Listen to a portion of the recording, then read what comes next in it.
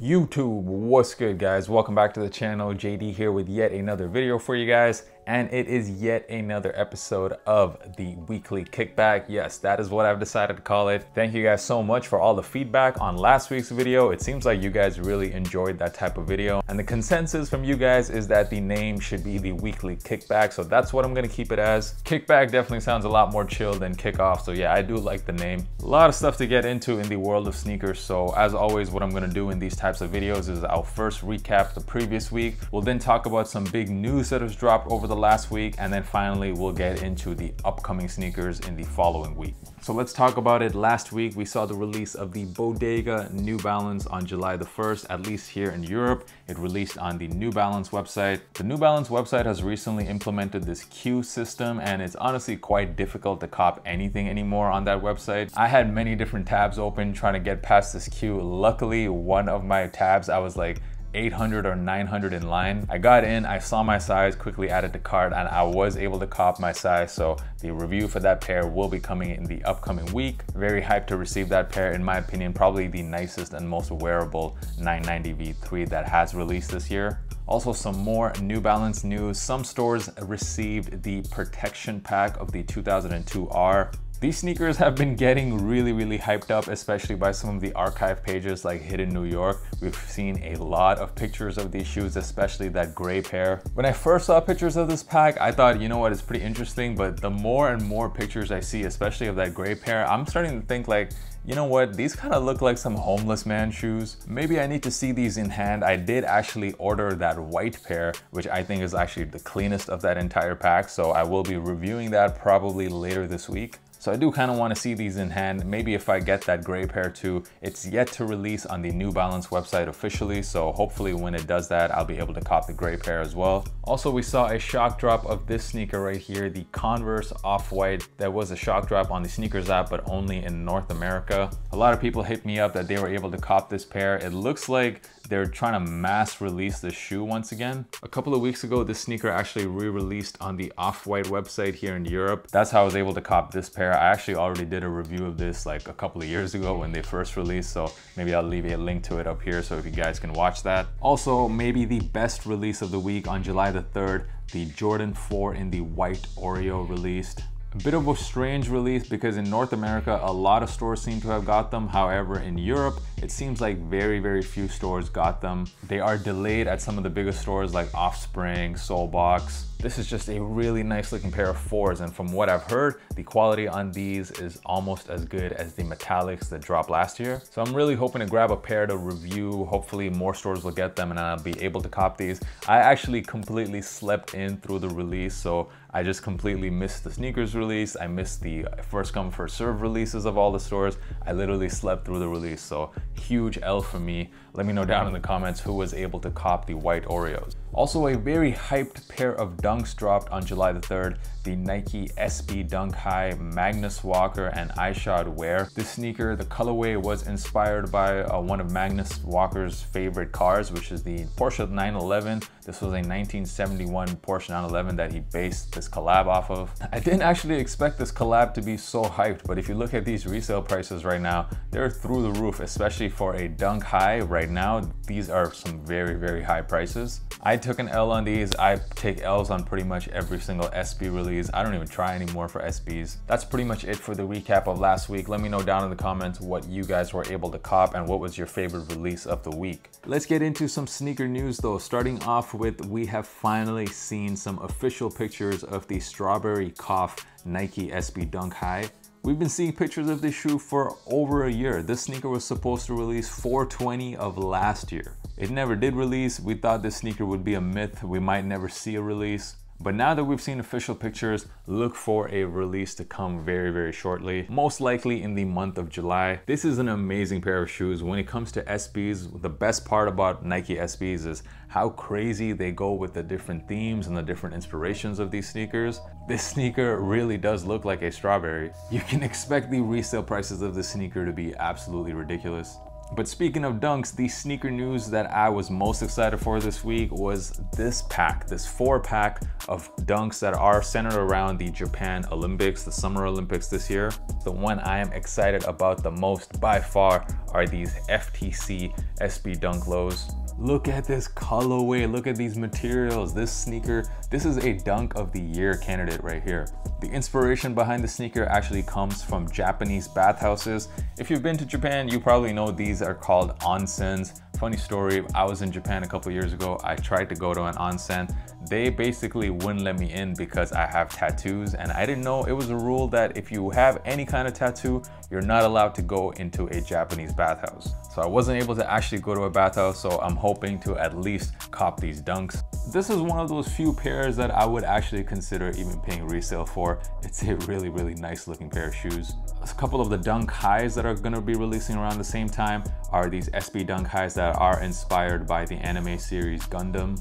And then there is this zebra looking pair that is apparently inspired by some Japanese fast food that also kind of looks like zebra.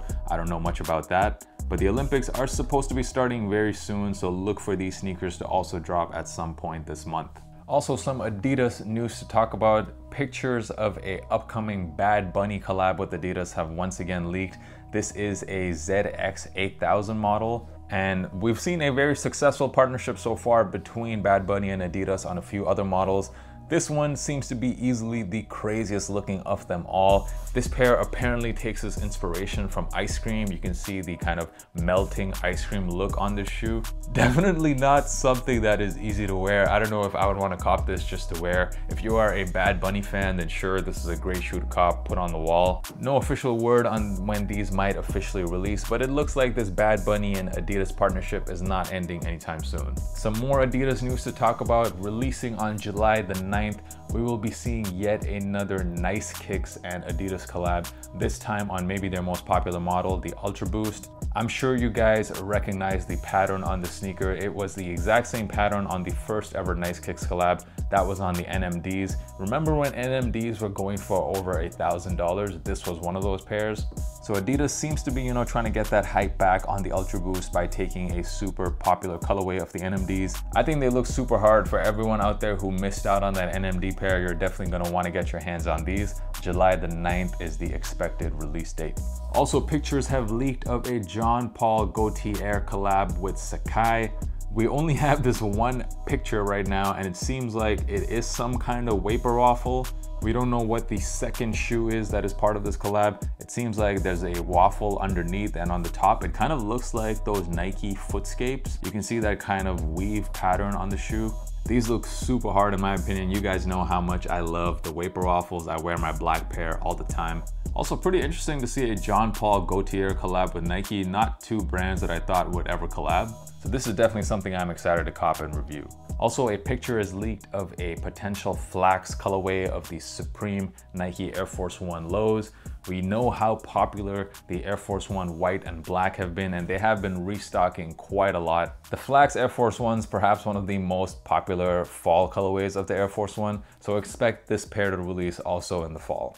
Over the last few years, there have really been a lot of Nike and Supreme collabs, Back in the day, there used to be maybe one Nike Supreme collab a year, and now we're getting one every single season. Besides those dunks that recently released, a lot of the Nike and Supreme uh, shoes that released have not really been that hype. They've not generated a lot of buzz, the resale prices are pretty low and sometimes going for below retail. So I think there's just been way too many collabs between the two brands, and in my opinion, it's kind of hurting both brands right now. Let's get into what's happening this week. Now, there's no official news about this, but there's a potential that we might see the off-white University Gold Air Force One's ICA drop this week. The reason that I say we might is because this is the week where Virgil is actually doing his official exhibition over at the ICA Museum in Boston. If you guys remember what happened with the MCAs, we had the exhibition and then in the same week, the MCAs released on the Off-White website. We don't know if that will happen again, but if history is any indication, we might see the University Golds also drop, shock drop this week on the Off-White website. Sick pair of sneakers, grail status type of Off-White sneakers, so I'm hoping to cop these and review them. Also some Yeezy news, on July the 5th, we might see the Yeezy 700 MNVN in this blue tint colorway. The hype on this model has really died. In fact, the most recently released Bright Cyan didn't even sell out. And I can totally see why. I love the 700s, but for me, the MNVNs are easily the worst pair of 700s because of the material, the upper. The upper is just so wrinkly looking and it looks wrinkly even when you have them on feet. And I just think there's definitely better 700s out there. Also, the United States on July the 8th, you will be seeing the release of the Nike Dunk Low in the laser orange colorway. This is a woman's pair, one of the nicest, nicest colorways of the Dunk Lows to release this year. If you missed out on the Syracuse last year, you probably want these. This is a very similar alternative. Of course, the quality is not gonna be the same, but at least from a colorway point of view, it's a pretty nice summertime type of shoe. Also on July the 10th, some Jordan news. We will be seeing the Jordan 3 drop in this laser blue colorway. If you are a fan of the 3, you probably want this very, very clean pair of 3s. I feel like 3s have become a little bit more popular this year ever since the A Ma Manières Don't know if these will sell out. I know in Europe it won't, but in the States they probably will.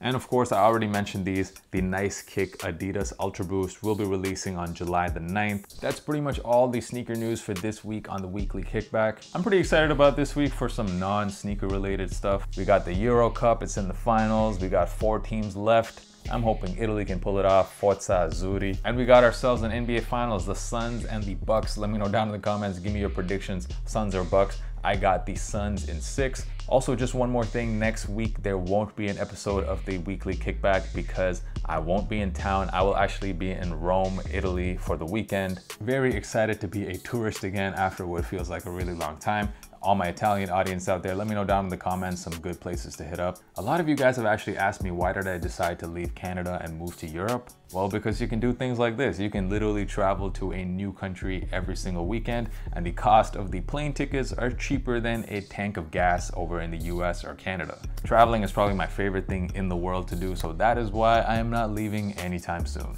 And I just wanted to say thank you guys so much for messing with the channel and for watching this video. I recognize that those of you who watch the series are definitely my number one fans. So I really, really, really, really appreciate you guys. Thank you guys so much. And I'll see you next time. Peace.